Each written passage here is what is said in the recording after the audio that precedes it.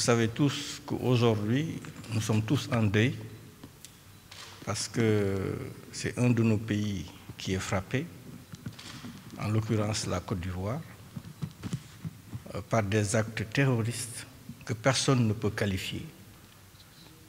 Je disais tout à l'heure à Monsieur le Président de la République, ce qu'on ne peut pas comprendre des gens qui chaque matin ont pour seul projet de société d'aller tuer d'autres personnes, ce sont des choses inqualifiables. Et nous sommes venus donc pour présenter nos condoléances à Monsieur le Président de la République et à tout le peuple ivoirien, particulièrement à sa jeunesse, qui doit être une jeunesse debout, une jeunesse debout autour du Président de la République, autour du gouvernement, pour montrer que la Côte d'Ivoire est un pays qui ne se laisserait pas distraire par des faits terroristes de cette nature.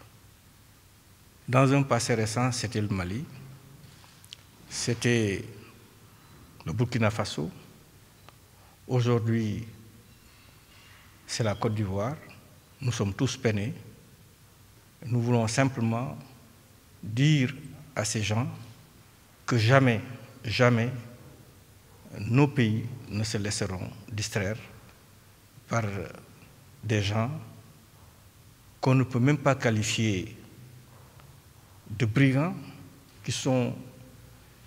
Euh, je ne trouve pas les mots.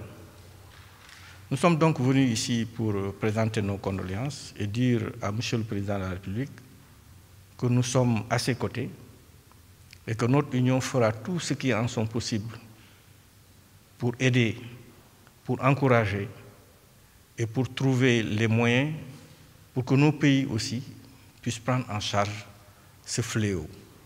Comme vous le savez, la conférence des chefs d'État avait décidé de faire du volet paix et sécurité un dossier confié à un de nos chefs d'État.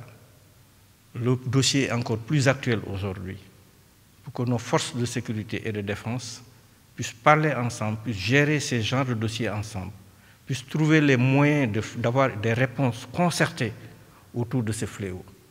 Donc euh, aujourd'hui, nous sommes en deuil.